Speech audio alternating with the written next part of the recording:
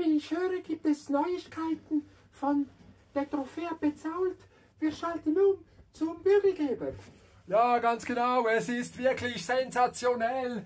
Der erste Läufer ist jetzt gerade, man sieht es hier sehr deutlich im Nebel, er ist gerade angekommen hier. Er überholt die Leute, die im Moment am, am Ausstecken der Piste sind. Da oben ist die Spitze der Fähnchenstecker und da ist bereits der erste Läufer. Es ist unglaublich schwierige Bedingungen aber die besten Läufer sind voll.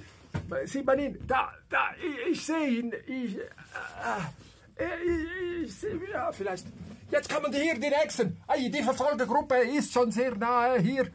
Ai, ai, ai. Ah, die Bedingungen sind schlecht. Die Köpfe sind tief geneigt, um gegen den Wind anzukommen. Der Wind sehr stark durchsetzt von beißendem, stechendem Schnee. Ganz sensationell. Und der Spitzenläufer fliegt den Berg hinauf. Es ist sensationell. Hier haben wir wieder Schau, schau, schau, Angriff Nummer drei, überholt in diesem Moment. Eieieiei, das ist fantastisch spannend hier oben. Ja, ich gebe zurück äh, ins Studio, nicht ohne zu erwähnen, dass hier unten eine größere Gruppe ein Verfolgerfeld weit, weit abgehängt. Hei, das sind 20 Minuten locker, locker.